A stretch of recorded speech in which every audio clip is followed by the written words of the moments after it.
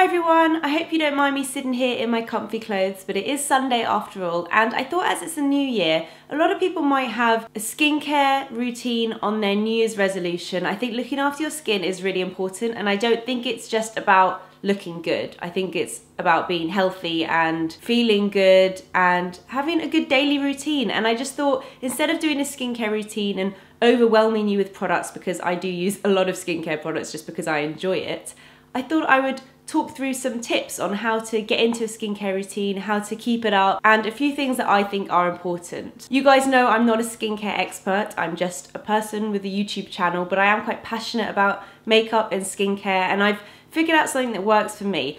I've never had acne, so I don't know anything about acne, I can't help with that. I have normal, quite dry and dehydrated sometimes skin. I am quite lucky, I have quite good genes, but I do have spotty days as well. And I thought this might be interesting for you guys anyway, if you are looking to look after your skin more this year. So the first thing I would say is make time for your routine every day. Just like you would with having a shower or brushing your teeth or eating a meal. Make your skincare routine important to you so that you always have time to do it no matter how much of a rush you are in. I make sure I at least wash my face every morning and night. No matter how late I'm running in the morning or no matter how tired I am at night. I think if you just make it part of your daily routine after a month or so, you just get so used to it that it's become second nature, you don't even really think about it. So that's something I would say is really important. You have to keep it up.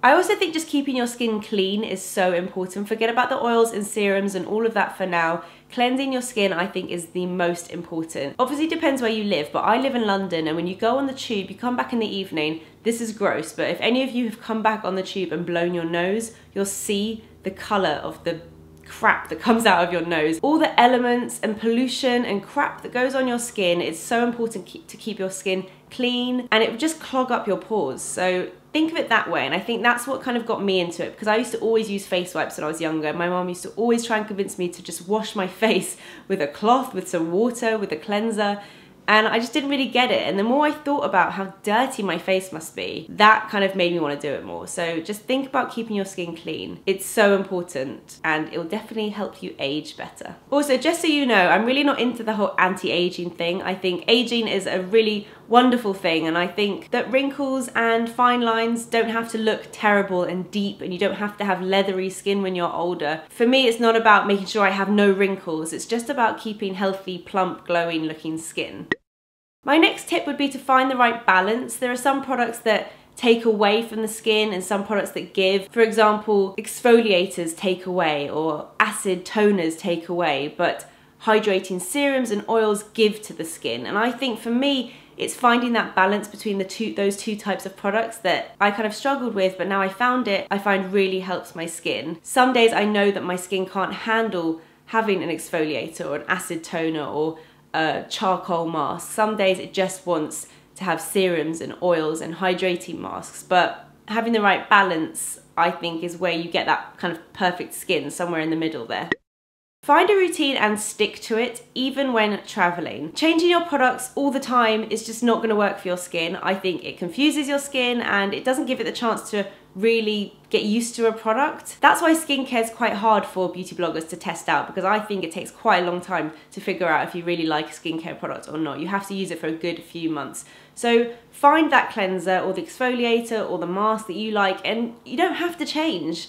Unless your skin stops enjoying that product, you don't have to change it. And I always find when I go traveling and I buy minis in Boots or whatever of different products, my skin always gets bad because it likes the products that I use at home. So you can just buy little tubs and little tubes and decant your products into there when you go traveling. I think if you can, try and use the same products even when you're away. If the routine works, then there's no need to change it.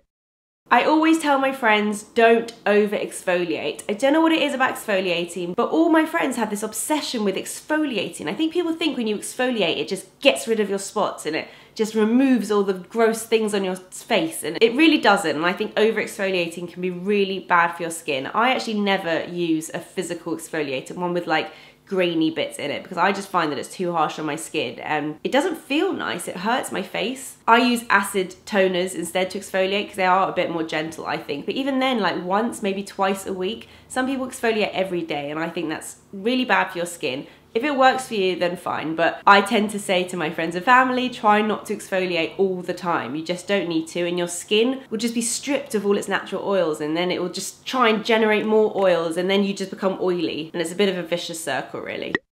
Someone once told me, I think it might have been Caroline Hirons years ago, not to wash your face in the shower. And I didn't really do it anyway, but it makes so much sense. The water that you shower with is so hot that putting that on your skin, no wonder I used to come out of the shower with such blotchy red patches all over my face. And that's because I have quite hot showers and it's just too hot to put on your face. And if you're cleansing your skin and letting all the hot water in, it's really not a great idea. And I always try and remind Rich because he cleanses in the shower. So if you can, try and do your skincare routine before you get in the shower. Well, not your skincare routine. I tend to take my makeup off, then shower, and then come out and do my whole skincare routine. But I wouldn't recommend kind of scrubbing your face under the hot shower water. Not great for your skin, and I know it's a time saver, but I'd say try not to do it.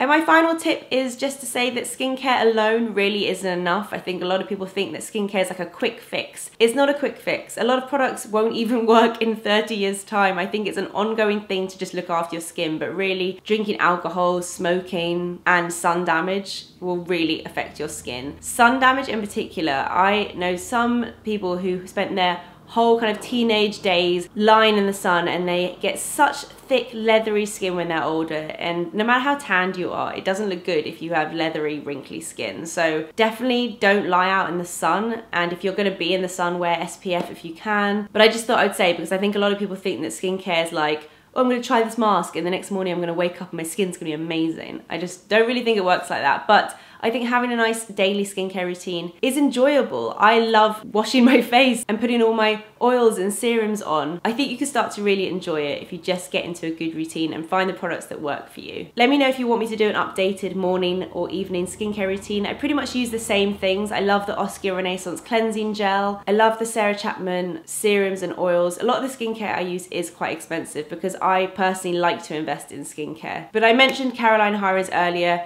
definitely go and check out her blog. She is a skincare specialist and she knows everything about the subject. So go and look at her cheat sheets. They're really helpful if you're just getting into skincare. So I hope you liked this video and if skincare is on your New Year's resolution, hopefully this helped you a little bit and maybe gave you a bit of inspiration to get started. Thanks so much for watching and I'll see you in my next video. Bye.